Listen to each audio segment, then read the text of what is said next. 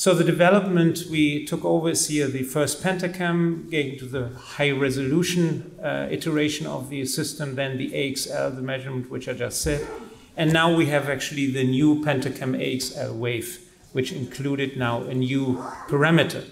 The measurements which you can take with this will be, as I said, Scheimpflug tomography and optical biometry. That's not new. But what is new is that the Pentacam AXL wave is an enhancement of the uh, previous iteration because it also takes Hartmann-Shack wavefront sensor and retroillumination measurements. So you see wavefront, optical refraction, uh, objective refraction, and then the retroillumination as a new addition to this new device.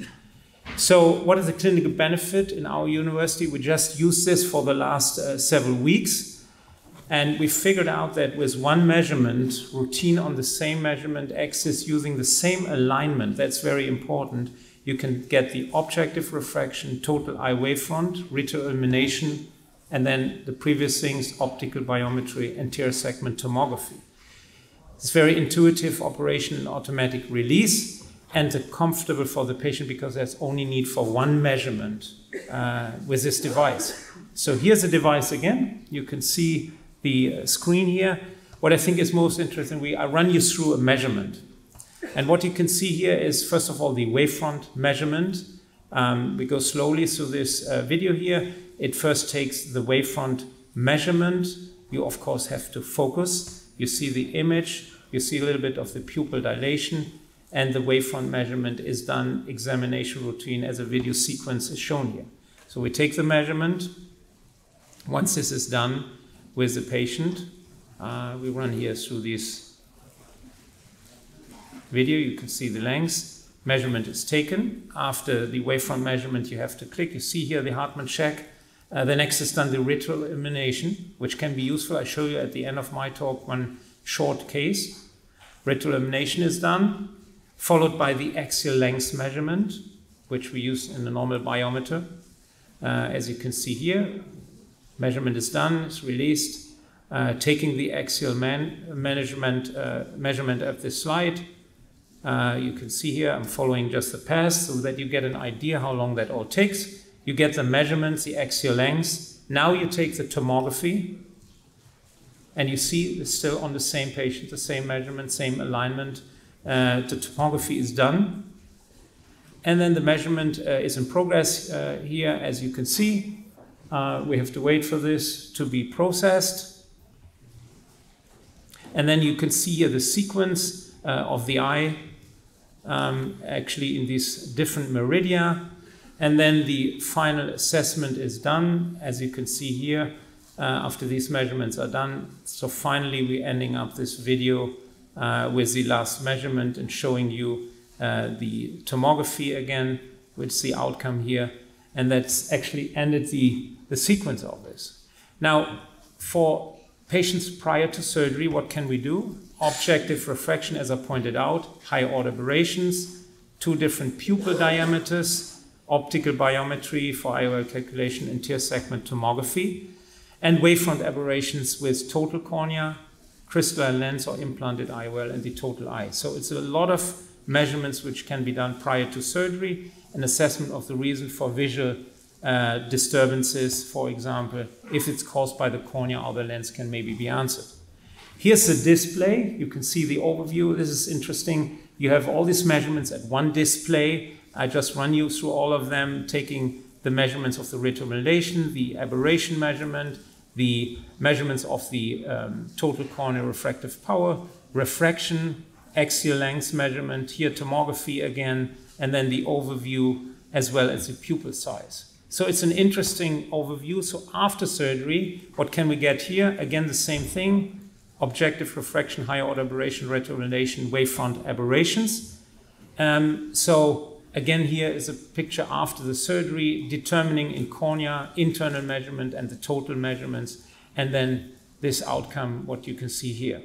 We did some first 20 eyes, and what we found is that we compared our subjective and objective refraction with the AXL wave. We found a similar results. We also did a little bit of iTrace measurement. We saw uh, found some difference in these first 20 eyes. This is just preliminary. We just have it for three weeks, so we have to do this. Let me go to to finish up my talk in the next three minutes.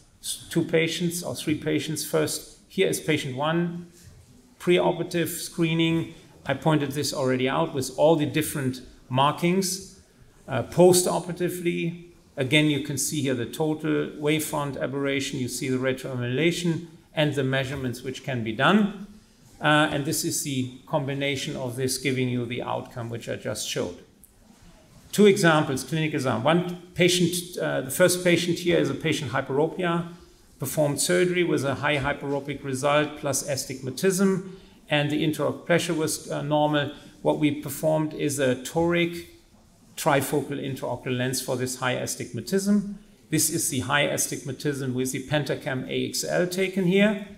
The other side, you can see the high astigmatism. Cataract pre-op, again this map. We use also this pre-screening map with our device all the time, right and left eye. The patient's follow-up showed visual acuity not, not satisfying in the right eye. And the reason was, if you look at the refraction, plus 1, minus 2.5, the axis at the first week, 80 uh, uh, was the measured axis, but it was 88 degrees, and it was even worse after the two weeks outcome, what you can see here. Now, we looked at the measurements. We basically saw the patient is not satisfied. Here are the pentacam, and you can see here at the retroillumination picture, you can see here the marking on the cornea. It's very important that in the future we can measure with our devices the axis. Can you see this here? We did then the normal Berdahl-Hardten uh, calculation. We found that we have to rotate this lens. We did the rotation, and four months after surgery, patient came out with a very quite interesting result, 0.8. The other one was already from the beginning right away very good. The patient is satisfied. So you can see this in the uh, wave here um, with a clinical benefit after surgery. You see for a more detailed evaluation and documentation of, or if there is a difference between the expected refraction, you can see this here, and you can see exactly that this machine had determined the axis, even if you look back the pre and the post-operative measurement.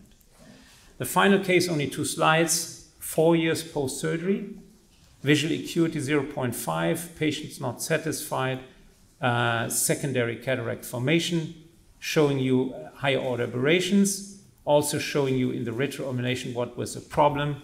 Patient had a PCO. You can see here there was a toric trifocal version. And of course, we did a YAG laser patient treatment to satisfy this patient. So I would like to summarize the uh, Pentacam AXL As I said, we just had shorter experience. But the most important thing is you get one measurement with one device, taking five different, very important steps objective refraction, total I'm wavefront, retroillumination, optical biometry, and very important anterior segment tomography to get your idea about the cornea. It's comfortable, I think, what we found out so far, and it should be an optimization of the software and device for better and faster measurements in the clinical everyday life. Now we have to discuss all the typical issues which we see here. We have to do studies on each of them, which we'll show in the future, but this is the first time I have seen such a measurement in these different regards. Thank you.